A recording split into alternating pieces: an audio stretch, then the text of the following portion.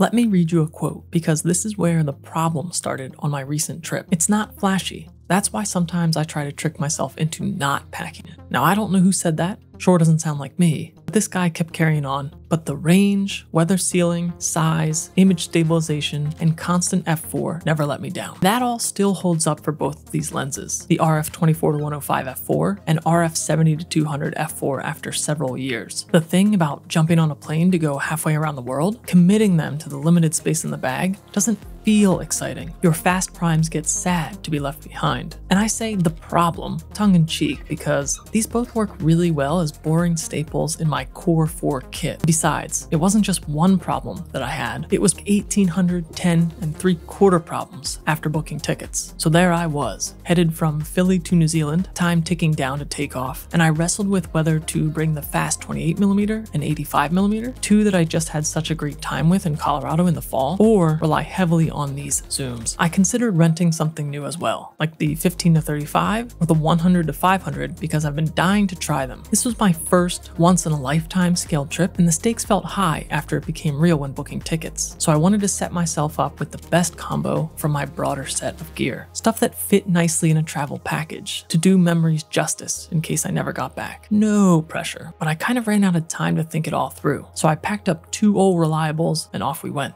Just kidding, immediately delayed missed our connection, spent the time sleeping from 3 to 11 a.m. in San Francisco, kind of being miserable, to be honest. The travel to and from sucks, but it does mercifully end at some point. We did finally land, and if you're new, I'm Dan. I'd call myself a travel and landscape photographer, I guess. We look at gear in a long-term fashion on this channel. That's why I keep revisiting these lenses, and I think it makes sense to review gear in the context of what else might be in your bag already, because I get joy out of continually refining my kit in a thoughtful way. If you are considering buying either of these two lenses, let's toss the RF 14 to 35 in this bucket as well. Or if you're looking at the f2.8 siblings, nothing I say in this video should be surprising. My main goal is share some images from the trip to share my experience why boring f4s can get a lot done for you if you shoot similar to me. The big takeaway is this. Generally, when people wrestle with whether or not to buy these zooms, it's because they've got f 2.8 FOMO. All of these lenses are Canon L, weather sealed, they have image stabilization, constant apertures. These ones are a hell of a lot cheaper, lighter, more packable. So can you get away with f4? And the answer is generally yes. Now what else you shoot is a big deciding factor. If you also do a lot of indoor work or high shutter speed shooting in addition to travel, and you don't want to rock two lenses, absolutely consider the big boys. Or simply if you want them and have a fat wallet. I'll hold out hope for a 15 to 35 millimeter one day myself. Otherwise, it's my view that you don't want to jump to f2.8 lenses for the sole reason that you feel like the bokeh is much more impressive. I feel like you don't truly start to get that magic sauce until you open up to f2 and wider. There are surely shots from this trip where I had one of these two lenses on that I would have liked to shoot with a shallower depth of field. After all, you're packing them because you have limited space. By definition, there's some compromise. So you'll have a few painful moments as a photographer where you may have some of that prime FOMO. This mushroom at 105mm f4 would have loved to blow everything in the foreground background away. The 85mm f1.4 was missed. A shot like this, the 28mm f1.4 was missed. Still really happy with the shot,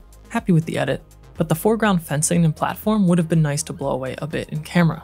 This shot of the Nugget, again, wide open 28mm in order to blur the foreground grasses, would have been my preference. Same thing here with the lighthouse. I'm at f9 here. Because I didn't have f1.4, I tried to lean into a deeper depth of field and should have gone even harder, like f11 or f13 maybe, but this area was festering with people and I got right up in there, got my best shot, pow pow, and got out. This is a kea, missed opportunity here. Nothing spectacular you're gonna be able to turn this into from a photography standpoint, given that it's perched on a red Mustang, but I snagged the memory at least. If I had my 70 to 200 millimeter on at this moment, it would have been much better at 200 millimeter. This is a good example of where 105 millimeter is better than maxing out at 70 millimeters on a Trinity lens. That shared 70 to 105 millimeter range is something I really value. And then certainly it might have been nice to catch one of these waterfalls wide open at 85 mil as well. But this is from the Milford Sound, and that cruise, that day trip is really where I started to feel like I'm really thankful this is a day I can shoot with zooms across a large focal range, opposed to having just one exciting prime. And getting a whiff of that feeling, the satisfaction satisfaction of making the right choice is great. It's kind of like, ah, I can go home happy. On the boat, it's up and down. There's a lot of people to shoot in between and maneuver around. It's raining on and off. Basically, the exact use case of where these lenses, when combined with an R6 or R5, are made to frolic. Zoom to frame around people, IS to help with unstable hands and high winds, weather sealing, obviously, and you aren't changing lenses easily on the fly either. So the 70 to 105 millimeter range comes up big. It reminds me an awful lot of scenarios in Ireland from the past where I felt the same way.